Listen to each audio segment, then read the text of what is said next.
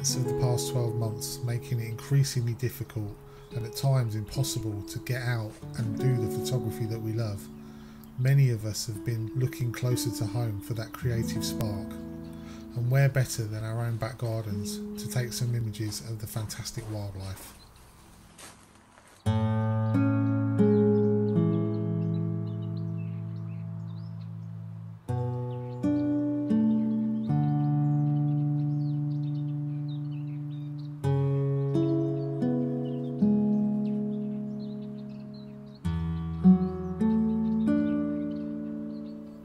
This three part series, I'm going to show you some of the tips and tricks that I've picked up over the past 12 months to help you to get sharper, well composed, and better garden bird photos.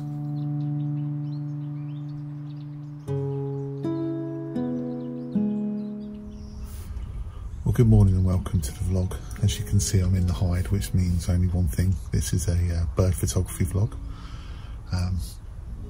It's a bit of a chilly one this morning actually. We've had a few days of um, sort of mildish weather, but today is uh, the cold's back with a vengeance, which is not a bad thing because I don't mind a bit of cold as long as it's uh, quite still, which it is. Now this vlog today is going to be all about um, some aspects of how I've set things up for garden bird photography because I've had quite a few people ask me about how I managed to get the photos I get how I managed to get them so sharp. And also the settings and setup etc and for me it's more than a just a, a question of technique. It's also a question of three things really. I think the first part is what I'm going to call preparation and observation. The second thing is then the technique. And the third part is the post-processing and possibly as well thinking about the composition of the shot. So in this video, I'm going to talk about preparation and observation.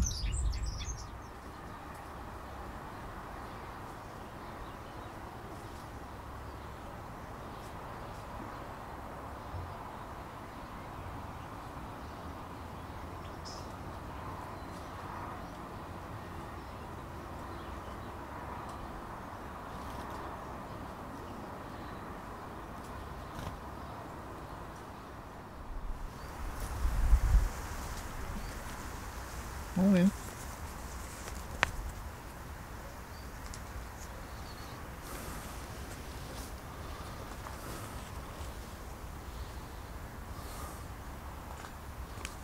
a little friend. I've got a little friend this morning. It.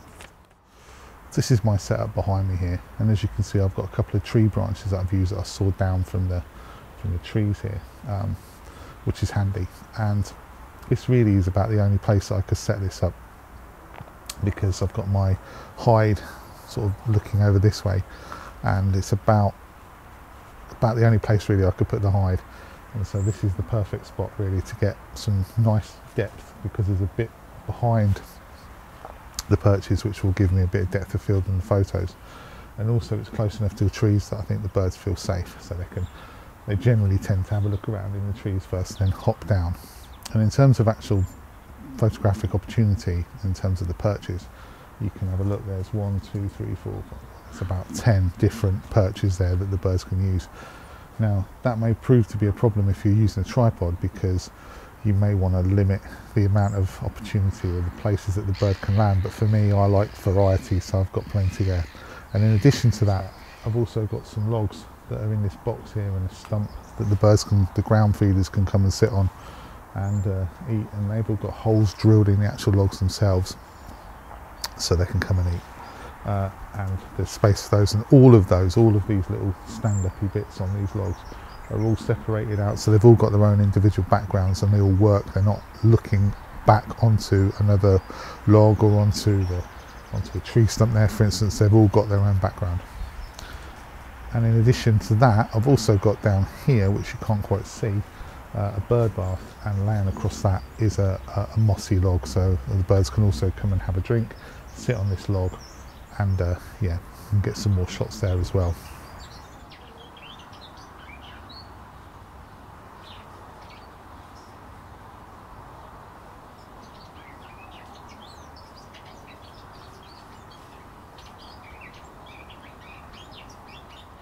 Now when I was setting this up I didn't really have an option as to where to put these perches, that it's either there really or nowhere.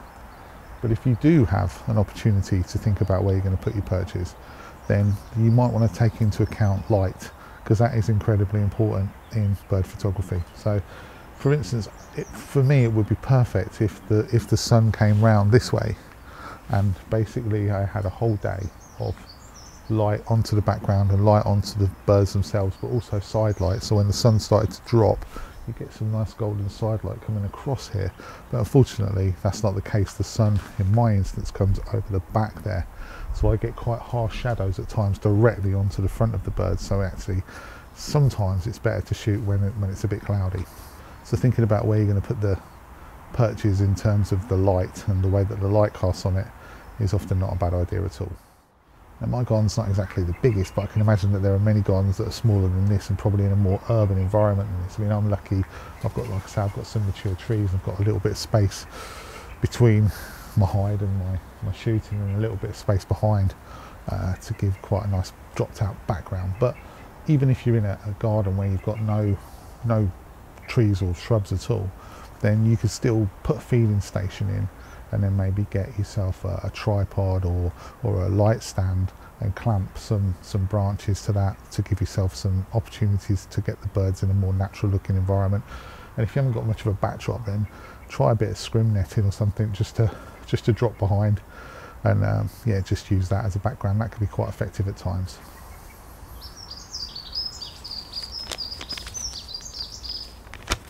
Yeah, that's what I was thinking. And finally, let's talk about food. Presenting food and also the food that I use. So in terms of presenting food, when we're talking about the, the logs, I've, I've learned through experience that the best way to present the food in the logs really is to drill holes in on the blind side of the, of the log, so out of view of the camera if you like and just drop the food into the holes and then the birds will come and peck at the food but you won't be able to see it in the shot several times like on the log I still haven't really done it on the log but on the uh, on the um, on the stump still haven't really done it on there but I should drill holes in there because I can only really lay the food on the flat surface and it's really obvious so if you get a nice shot often you've either got to clone the food out or just deal with the fact that it's there, which kind of takes away from it being their natural environment because that's what you're aiming to get really. You're aiming to make it look like it's the bird's natural environment.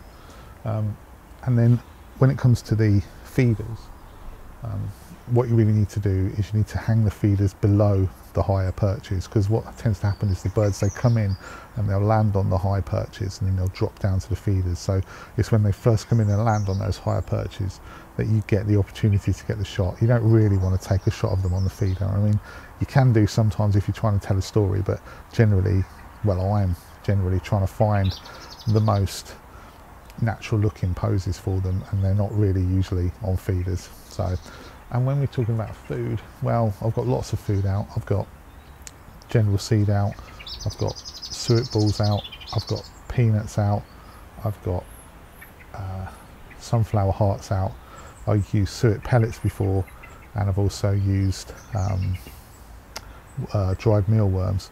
And all times of the year they come from most of that at different points um, except for the peanuts which I found are not really eating at all but I'm kind of hoping for a woodpecker so I'll leave them out.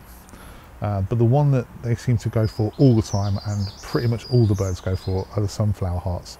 So I tend to put all the feeders out with the different options in but all the drill holes I'm now filling with sunflower hearts because they are the ones that the birds tend to want to come and eat basically.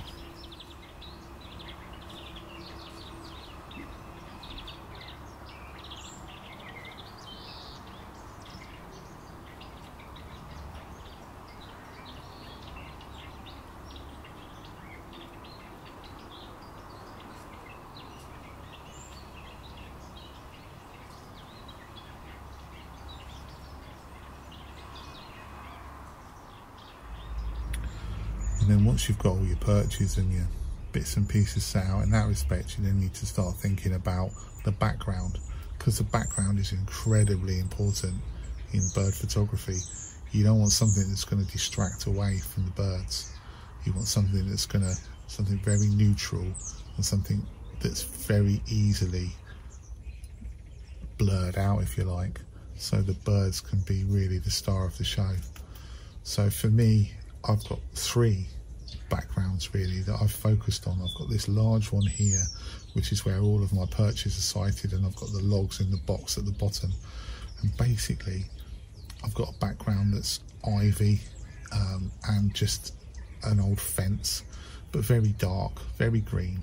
There's a little bit of an issue on the left hand side where I've got some trees but can't can't do anything about that really. Um, but the tree is quite useful especially in the winter actually because it becomes quite bare and it's a lot of the birds use those as perches.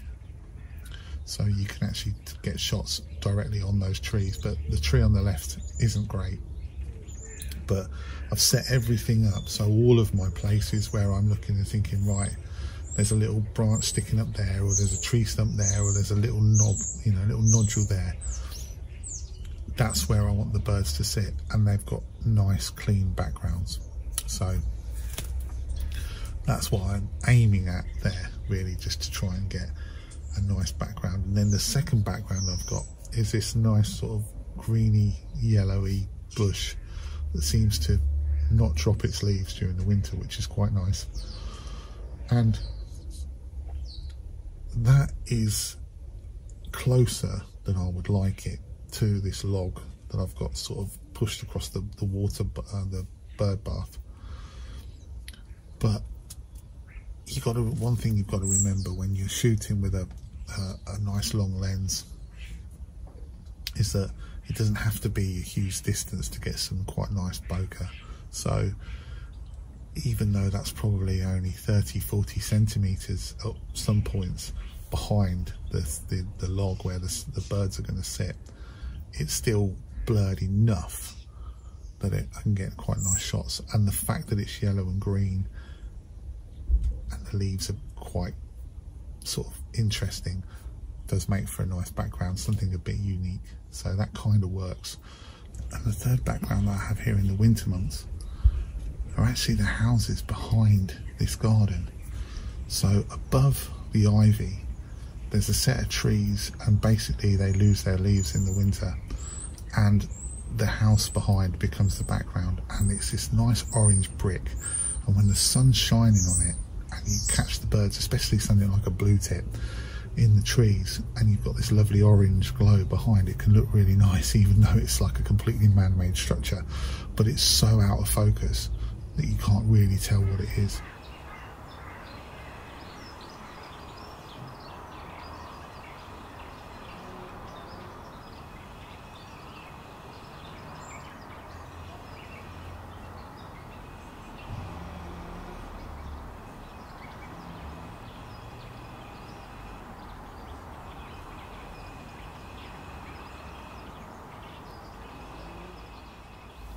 final thing I want to talk about today is observation. It may seem like it's not as important as prepping everything and getting your technique right and getting your focus right. But the point is, if you watch the birds long enough, that you can start to predict their behaviour and their actions, you're going to be in a much better position when it comes to being prepared to take the shot.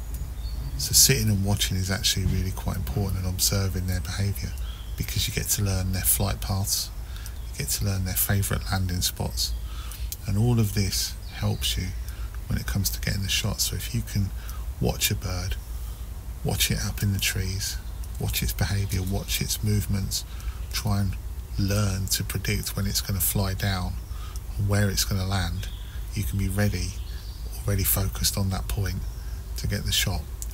And uh, it does help, believe me, it really does help. I tend to find that if I focus in on the birds and watch them sitting in the trees behind, they they give off these little visual cues as to what they're going to do. So if they're if they're singing, for instance, they're not likely to be moving for a while. But then they start to look around, which is quite interesting, and then you can see them and they start to sort of almost lean forward as if they're going to go, they're going to go, and then that's when usually they fly down to either the perch or down onto the logs or onto the feeder, and you can kind of predict when they're going to do that by the actions that they're performing in the trees. And of course, the other thing to bear in mind is that different birds, different bird species have totally different behaviour. So, for instance, the blue tit, what they tend to do is they'll sit up in the trees waiting for an opportunity and then they'll fly straight down onto the feeder, take the seed, and then go back up into the trees and hold the seed between their claws and eat it. So, unless the feeders are busy or you get quite lucky, often the blue tits don't really land on the perches or on any of the, the logs that, you, that you've got. They tend to come straight into the feeder and straight back out. So your best chance of shots for them really generally in the trees. It's a little bit different when it's busy. So when it's a bit busier, they might hop onto a perch and wait for the feeder to clear. But generally they're in and out. So you've got to spot them coming in and try and sort of pretty much either get them while they're waiting to come down while they're looking to make sure it's clear or get them once they've gone back up into a tree and they start eating because otherwise you're just going to take a photo of a blue tit on a feeder and if you take something like the sparrow then they're a completely different species in terms of the way that they behave. So what they'll do is from my experience they tend to hang around in sort of largest groups sort of four five six more. And they'll send a couple of scouts out and those scouts will come and sit on the very top perch here and have a look around and make sure everything's safe and it's okay. And they'll send a signal back to the rest of the birds to say yeah you're fine and then they'll come and eat so what you can do then is you can either take advantage of those outliers and get some shots of them sitting on the high perches or you can wait for the rest to come in and then they're all over. I mean, they feed off the feeders, they feed off the logs, they feed off the floor, so you've got lots of opportunities there. And it's interesting as well to note that birds like sparrows and starlings and the robin, they often spend quite a lot of time on the perches that have been set up and they'll hop from perch to perch before they actually go onto the feeder. Whereas something like uh, the blue tit, as I mentioned, or the blackcap, generally they're in the trees behind and then straight onto the feeder and then straight off. Occasionally they might come and sit on the perches, but for not a very long amount of time. So you've got to be really ready. So you've got to really sort of wait for those birds, wait for the likes of the blue tit and the black blackcap to be up in the trees and then be like on your guard and watching and ready for them to come and fly down, land on the perch and try and get them as quickly as you can whereas something like a sparrow or robin, you've got a little bit more time. And finally, I think probably one of the most important things, regardless of the setup and the observation and the technique and the focus and the equipment, one of the things that you really need, one of your main skills, needs to be patience. Because bird photography is generally a waiting game.